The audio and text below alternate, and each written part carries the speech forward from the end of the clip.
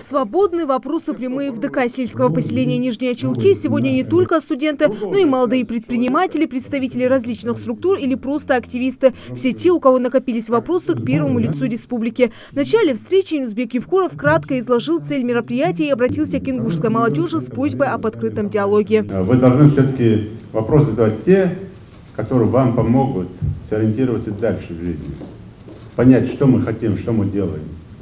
И ваш вопрос и мой ответ, как главы республики, поможет там другим ребятам в жизни, не только тому, кто задает вопрос. В течение нескольких часов живого диалога затронуты самые разные темы – культура, спорт, политика. Особый акцент молодые люди делают на празднование 25-летия региона, которое намечено на июль. А вот активная молодежь Малгобека прорабатывает свои проекты, приуроченные году экологии. Мусор Умаров предложил благоустроить городской пруд и открыть зону отдыха. Дам поручение, давайте тогда э, возьмем на контроль, как это сделать.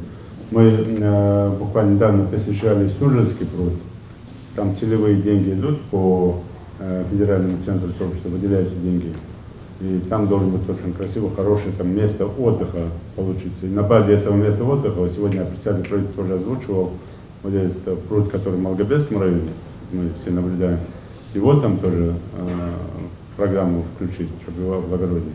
Ну и те пруды, которые там и в Малгобеке, и в Карабулаке, их тоже привести в соответствие, чтобы хотя бы там элементарные условия для людей создать. Довольно наболевшим среди молодежи оказался вопрос распространения аптечной наркомании. Молодой человек из Далакова рассказал, что в их селе открыто продаются психотропные вещества. Однако никаких методов борьбы с такими людьми, согласно действующему законодательству, не существует. Вопрос стоит сейчас в подвешенном состоянии, где-то потому что и закон не позволяет как бы за это они отделываются административным правонарушением.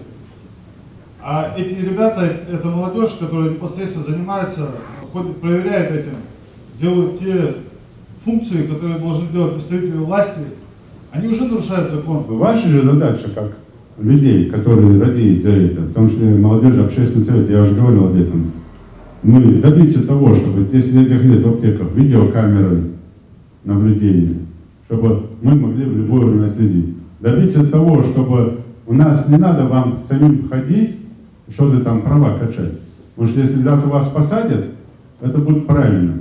Потому полезли на свое поле. Встречи главы Ингушетии Юнсбека Евкурова с молодежью уже стали традиционными. С каждым разом вопросов в главе становится все больше. И это говорит об одном. Наша молодежь не безразлична к общественно-политической жизни региона. В ходе встречи от молодых людей прозвучало более 30 вопросов. Затронули тему муфтията, состояние дорог, трудоустройства отличников. Говорили также о важности создания дискуссионных площадок, где молодежь на регулярной основе смогла бы обсуждать назревшие вопросы и решать их. К примеру, в Малгобеке Малабеке уже действует подобный ну, клуб с говорящим ну, названием Дешендей. Вот эти площадки надо, они должны быть не одна, одна, вторая, третья, чтобы мы друг другу... И не в не для поддержки власти, а для того, чтобы вы сами не шли за какими-то там людьми, у которых за спиной ничего нет.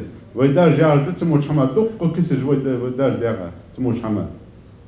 В том числе, э, вы даже Эн Хамар هو سانساقو يري يري يري دي ياغي ازداتي هم ياخد كهش كرت سن لر في ملا لر يحش تساقي تساقي لر يواز الحوجة حو سنتي حيوان ولي ازمو اودو ساقوها ازمو كشف اوجوها Вот в этом. Поэтому делайте эти площадки, и они должны быть и публичные, там в Шве, и на этих площадках должно быть право выступить любому кто имеет свою точку зрения. От учителя Нестеровской четвертой школы Мадины Тюбоева поступило предложение открыть в республике национальную деревню, своего рода дом-музей, где можно будет демонстрировать гостям всю культуру ингушей. Это, в свою очередь, повлияет и на развитие туризма в регионе. Как шьют нашу национальную одежду, чтобы в этой деревне было э, гончарное производство, э, кузнецы. И вот как-то вот можно было бы, если бы есть возможность, конечно, можно, можно спонсоров, я думаю, привлечь. Уже есть люди, которые заинтересовались, я уже обсуждала эту тему. Возле башенного комплекса, вокруг него, в том районе, мы там хотим делать такой ну, хороший коммерческий проект, именно только национальное, только вот из того там, из нашего старинного такого уклада жизни. И там же, как вы говорите, различного образца уже работники, которые там будут показывать все в национальных одеждах, в том числе и официанты, и все остальное. Национальная кухня, народные промыслы. Вопросы здесь самые разные, но главное, что каждый, кто их задает, получает конкретные ответы. Юнсбек Евкуров на месте дают поручение изучить вопрос, а затем доложить лично. Откровенный разговор с властью для молодых людей в первую очередь возможность развеять свои сомнения, отличить домыслы и слухи от правды. Такого рода встречи для молодежи э, большая как бы поддержка в том, что действительно на уровне нашего главы республики проводится такого рода вот э, мероприятия, программы, нацеленные на э, именно поддержку молодежи. То есть это социальные программы, проекты э, всякого рода, нацеленные именно на, на то, чтобы трудостроить именно молодежь, выявить ее потенциал и тем самым как бы развить именно нашу молодежь. Было задано очень много продуктивных вопросов, и глава ответил достаточно внятно и понятно всем э, с стороны политического взгляда. Я очень был доволен ответом, и на свой вопрос, конечно же, очень э, благодарен за ответ. Для меня это было очень э, полезно, потому что было очень много вопросов, которые насущно действительно сегодня существуют.